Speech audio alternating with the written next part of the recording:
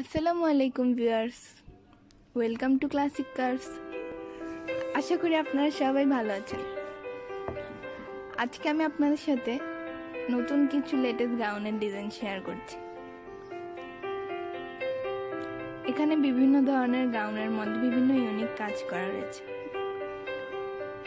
এইসব জামা আপনারা বিভিন্ন পার্টি ওয়েডিং ফেস্টিভ্যালে পরে যেতে পারেন।